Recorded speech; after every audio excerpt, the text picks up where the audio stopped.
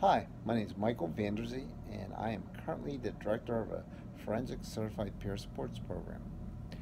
My background is I have a bachelor's of art in psychology from Edinboro State University and a master's of uh, arts in counseling psychology from Slippery Rock University.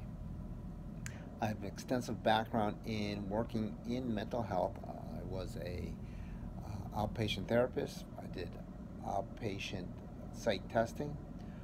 But what I'm here to talk to you about is the opportunities available to people with a psychology degree. Most people think that getting a psychology degree means that you have to be a, a therapist like I was, a, uh, a, psychologist like I was, but there are other opportunities. Um, the skill sets that you'll need are one, creativity, and understanding your industry. I spent 20 some years working in the mental health industry at multiple community mental health centers. I created multiple programs, and probably about 12 years ago, I was applying for a job that uh, was my former boss's. I did not get the job, but instead of being disgruntled and quitting, what I did was I looked for different opportunities. At that point, I met an individual who was trying to start a specialty pharmacy. They were specializing in providing pharmaceutical services to individuals with severe and persistent mental illness. So there was my my niche. So I started a company called QOL Meds, and we started with two pharmacies, one in Pittsburgh and one in Philadelphia, and we had roughly 12 employees. My job there was director of client services.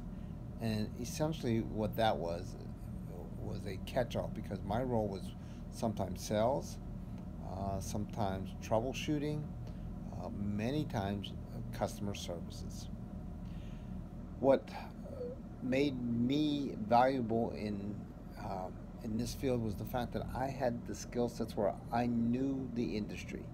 I understood the perils of trying to get an individual on medications. I knew what kind of troubles they were getting into, and I understood the importance of medication to a mentally ill individual. So when I started this company, essentially we were working on a, a financial sh- um, shoestring. We really had some challenges what we needed to do was grow fast. So what I found myself doing was going out and contacting all my contacts that I've met throughout the years.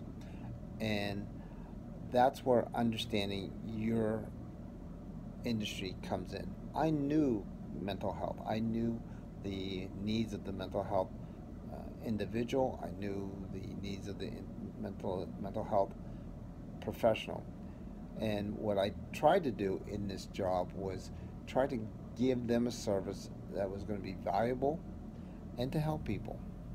Subsequently, what happened was that through knowing what they needed and coming up with solutions, we were able to grow QOL meds from the two pharmacies to, at the time that I sold the company, to 150 pharmacies.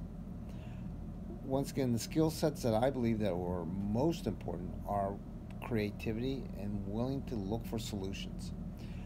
People don't want to hear about what a problem is. They want to know how to find a solutions and also understanding your industry.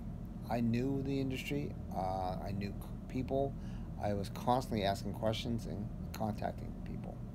So, once again, with a degree in psychology, there are many avenues you can take. Um, and I'll give you an example. One of the uh, people uh, that started the uh, uh uh, company in New York City, he was a psychologist at John Hopkins who moved into marketing and became a multimillionaire. So, there are many things you can do with a psych degree, uh, and one of the things that I believe is important is your ability to take chances, be creative, and thinking outside the box. Thank you.